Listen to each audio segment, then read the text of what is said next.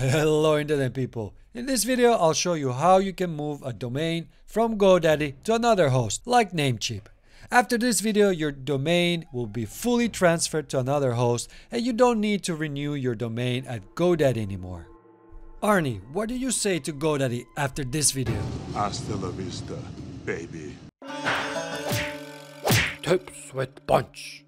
Before we start, I need to mention you a few things that can limit your transfer. Basically, this applies to all hosting providers. If you buy a domain and tomorrow you want to transfer it to a new host, it won't be possible. You have to wait for the 60 days. Also, if you've just transferred the domain from another host and now you want to transfer again, that's not possible. The limit is 60 days. You can still point the DNS to another host, but you just can't transfer the whole domain to a new host. And you need to make sure that your domain is unlocked to transfer. Usually this is easy to disable and I'll show you in this video how to do it. Alright, let's get started. So first, just sign in to your GoDaddy account.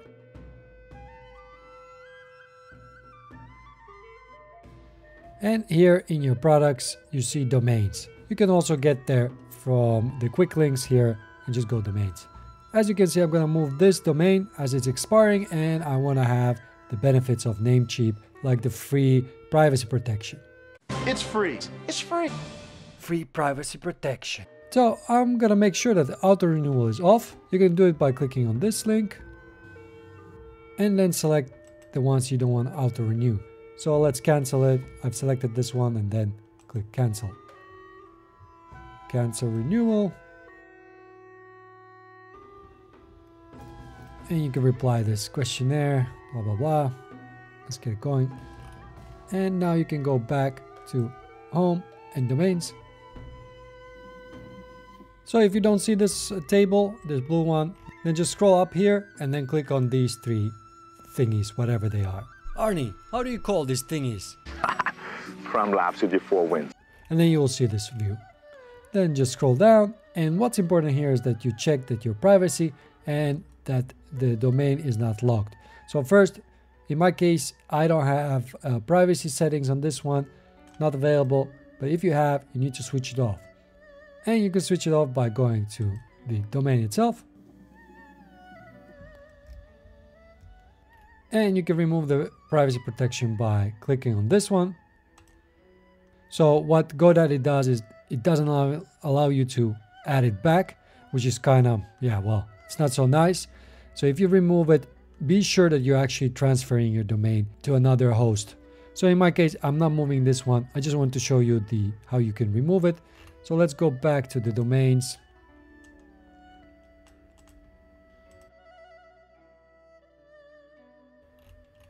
And the second field you need to worry about is the lock. So in my case, I want to unlock this domain or actually unlock it. And now it's unlocked. Now you have to wait until you receive an email from GoDaddy verifying that the lock has been unlocked. And until then, I'll pause the video. Arnie, how's my English?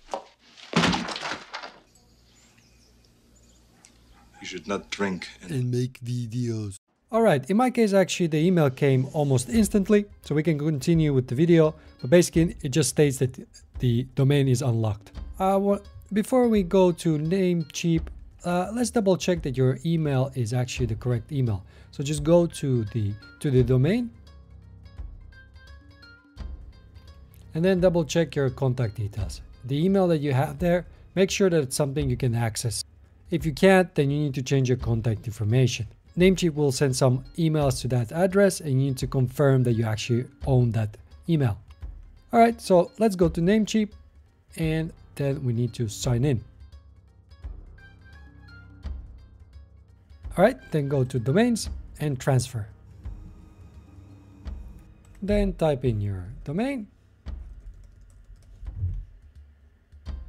and click on transfer.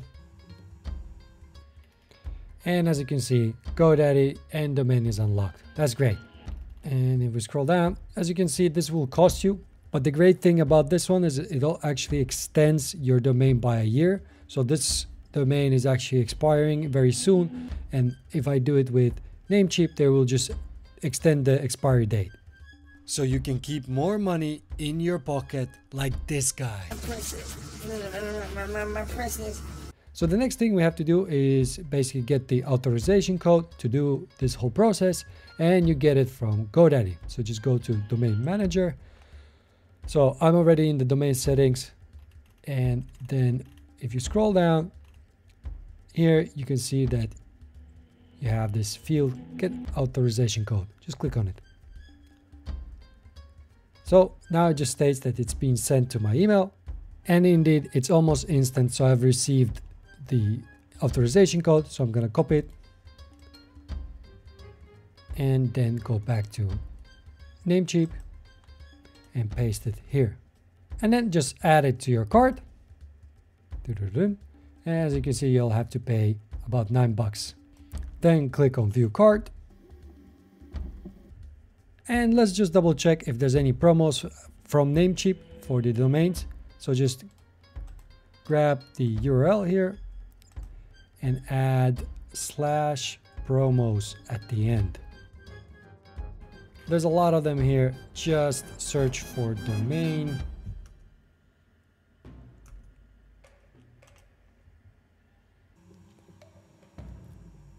And here they have save on DOMs. Just copy it and then paste it in the promo code field and apply. And I got what was that? 4 cents of discount awesome. Maybe in your case it will actually work better. Disappointed! I have the auto renewal enabled and then uh, obviously the Whois guard just keep it enabled. This is the privacy protection that namecheap provides for free whereas in godaddy you have to actually pay for it. So let's confirm the order. Just fill in your payment options and then click on continue and double check that you're happy with all the details and then proceed to checkout in my case i'm using paypal so there's an extra step here All right, and we got our thank you page and basically how you have the things here. But what you can do here is just scroll down and then click on manage. And you can see here that, that the transfer will begin shortly and this might take some time.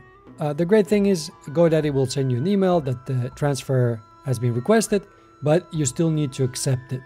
So before you accept it, it's not gonna actually transfer it and this might take a bit of time so I'll pause the video until it's done.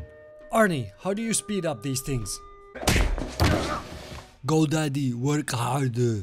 If you're enjoying this video so far, I would appreciate if you can hit the like button. That will help me with the YouTube algorithm and push this video even higher. Thanks a lot. So, this process actually just took like 10 or 15 minutes and then I got this email. Well, basically it's saying that I've requested the domain transfer and it's ready to go. You can just click on the sign in and it will take you to the domain section. Then click on manage all. And then under domains, go to transfers and click on transfer out. And as you can see, you have here, just check it and accept the transfer. So it says it'll take 15 minutes, but in my case actually I got it almost immediately. You will receive emails from GoDaddy. First they're gonna uh, try something very desperate. Basically they're offering you a very low fee for to extend with them, but honestly this is a bit too much already and I think too late. Then second email saying that they have successfully completed the domain transfer and then there's also going to be an email that actually you've canceled the product. This just means that it's been transferred to Namecheap.